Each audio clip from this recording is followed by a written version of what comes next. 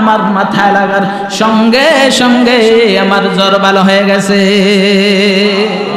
তাহলে নবীজি সবচেয়ে বড় ডাক্তার, ঠিক কিনা বলেন? নবীজির হাত যেই জায়গায় লাগছে, নবীজি যার জন্য দোয়া করছেন, সমস্ত মানুষ এই পৃথিবীতে সেই মানুষগুলো উন্নতি লাভ করছে, ঠিক কিনা বলেন? আরও জোরে বলেন, ঠিক কিনা? বন্ধুরা আমার বাবাজিরা আমার নবীজির খেদমত করার জন্য তার সন্তানকে আল্লাহ নবী সাল্লাল্লাহু আলাইহি সাল্লামের দরবারে নিয়ে হাজির করলেন। ডেকে বলে, ইয়া রাসূলুল্লাহ হাবিবাল্লাহ, এই সন্তান আমি ঘরের ভিতরে ধারণ করেছি। আর এই সন্তানের নাম হলো হযরত আনাস কন্যা, সুবহানাল্লাহ। নাম কি? আনাস। দেখেন, আজকে আমরা পৃথিবীর জমিনে দিন এলেমের জন্য নিজের সন্তান দেই না, ঠিক কিনা বলেন? আর এমন নবীর আশেক আছে, যে মহিলা আসে সে ডেকে বলতেছি আর রাসূলুল্লাহ, এই সন্তান আমি গর্ভে ধারণ করেছি, ঠিক। কিন্তু এই সন্তান গর্ভে ধারণ করে লালন পালন করেছে, আপনি নবীর খাদেম হওয়ার জন্য কোন সুবহানাল্লাহ। হযরত আনাস হলেন খাদিমুর রাসূল, কি? খাদিমুর রাসূল। কেন হাদিস শরীফের ভিতরে আসছে? আলমার ও মাহাব্বা যেই ব্যক্তি যার সাথে মহাব্বত রাখবে, কেয়ামতের কঠিন ময়দানে সে তার সঙ্গে হবে, ঠিক কিনা বলেন? কথা পায় না। কার সঙ্গে হবে? যে যার ভক্ত হবে, যে যাকে মহাব্বত করবে, কেয়ামতের কঠিন ময়দানে ওই লোকটা ওই লোকের সাথে থাকবে, ঠিক কিনা বলেন? তাহলে নবীজির সাথে হাসর হোক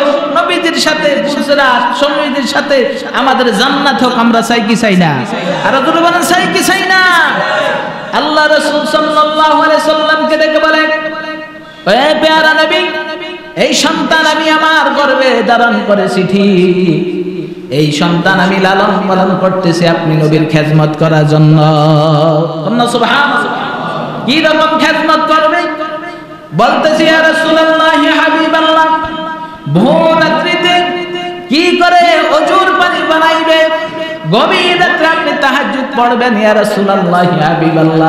এই বাচ্চা কি করে আপনার পানি করে দিবে?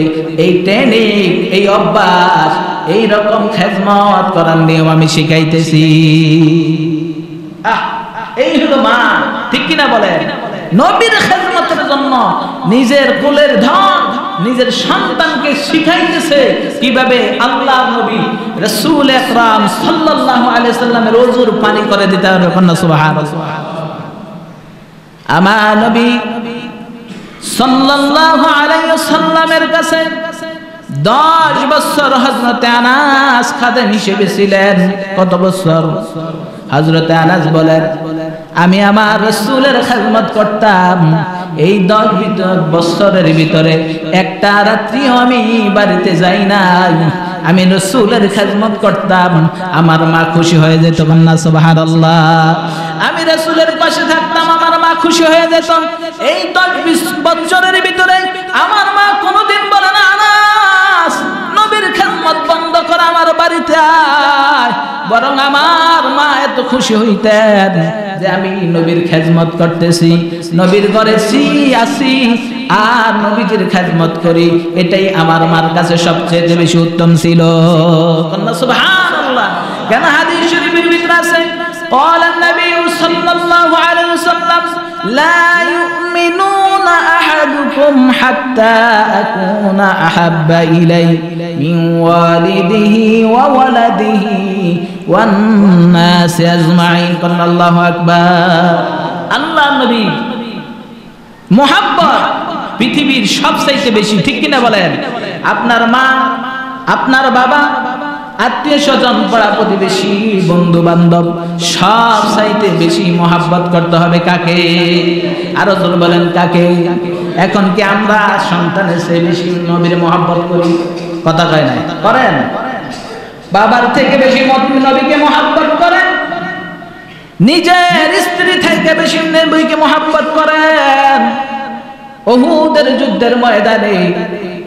সাহাবিরা দেখাইছে, কীভাবে নবীজিকে মহাব্বত করা লাগে, ঠিক কিনা বলেন?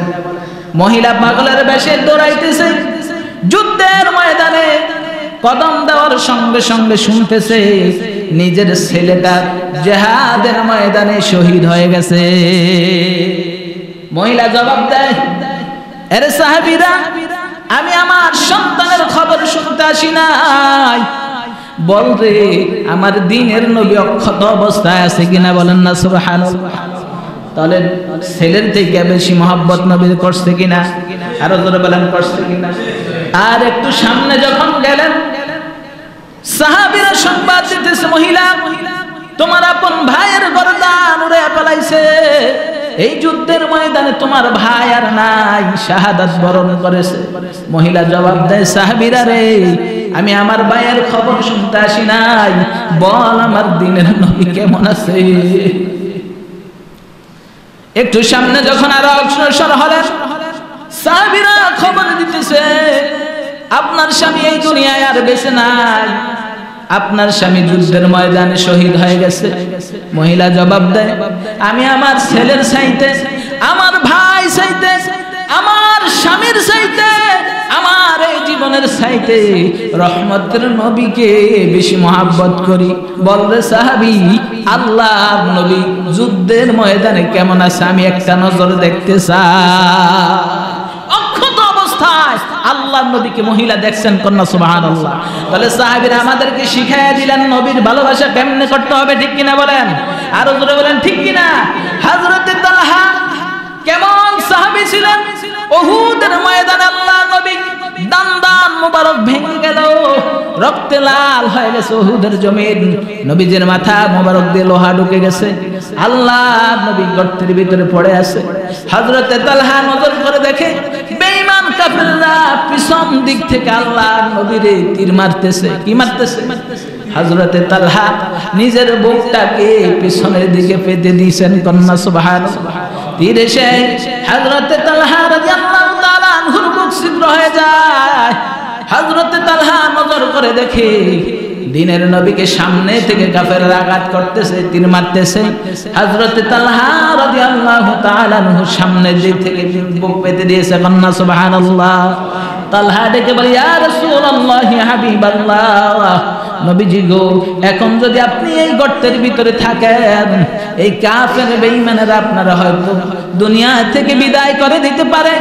এ নবী পাহাড়ের তালহারে, আমি নবী এত অসুস্থ হয়ে গেছি, এত দুর্বল হয়ে গেছি। এই পাহাড়ি পাথরে পাথর বেবে আমি উপরে উঠতে পারব না। হাজরতে তালহা, নবীর কেমন আসে হাজরতে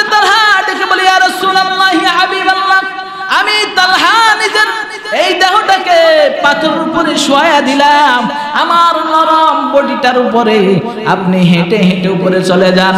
ইয়া রাসূলুল্লাহ হাবিবাল্লাহ, নয়তো কাফেররা আপনার ক্ষতি করে ফেলবে। হযরতে তালহা জমিনে শুয়ে গেছেন। কিতাবের ভিতরে আসে, আল্লাহ নবী যুদ্ধের শেষে সাহাবেদেরকে ডেকে বলে, সাহাবিরা রে, আমার তালহা কই? আমার তালহার খবর এনে দে।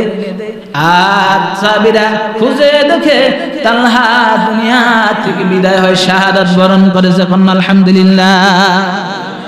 একটা নয়, দুইটা নয়, কিতাবে আসে তালহার শরীরে